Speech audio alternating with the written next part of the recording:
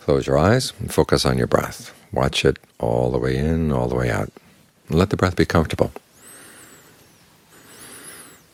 Take a couple of good long deep in and out breaths, and if deep breathing feels good, then keep it up. If it doesn't feel good, you can change the rhythm. You can make it more gentle, heavier, faster, slower.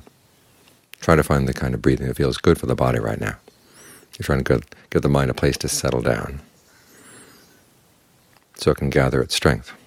We live in a world where we're assaulted all the time by sight, sound, smells, taste, tactile sensations, aging, illness, and death. We've had a lot of deaths in the community recently. And each death seems special. But you have to remember that say on an average, what, every day there's an average of more than 200,000 people die. And so as the Buddha said, we're all subject to aging, or as they say in the Thai translation of that passage, death is normal.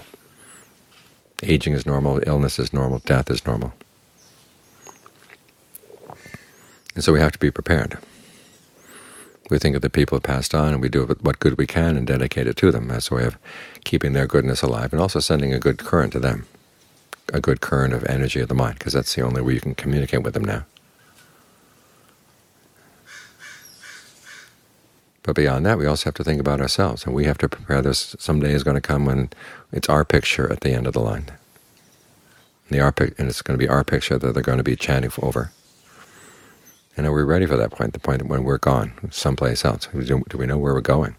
We don't have any idea where we're going, but we do know that if we get the mind in good shape, that's going to direct us in a good direction.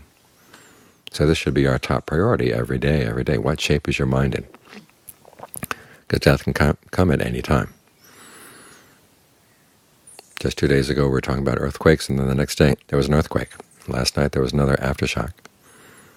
So just as earthquakes come at any time, death can come at any time. So are you prepared? What do you need to do to clean up your mind first so there's not a lot of unfinished business inside?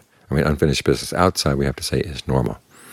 As the Buddha said, when someone's dying or approaching death, you tell them not to worry about the unfinished things they've left behind, because it's not going to accomplish anything. It's just going to pull their minds down.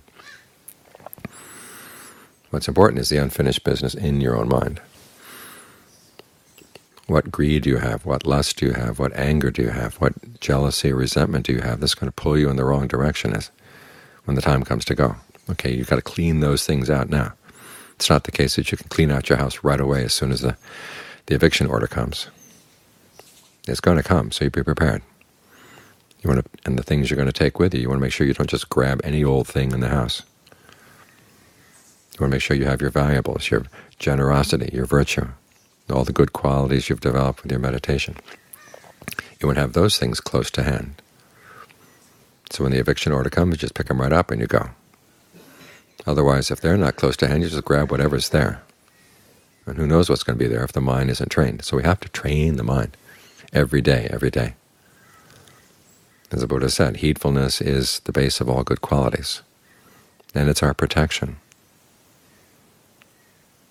So try to develop heedfulness, and try to focus your heedfulness on the shape of your mind. What state is your mind in right now? Make sure it's in a good state. And try to maintain that good state as much as you can, because that's your most important possession.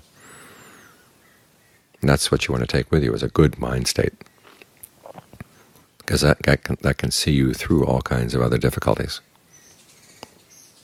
and bring you out safe on the other side.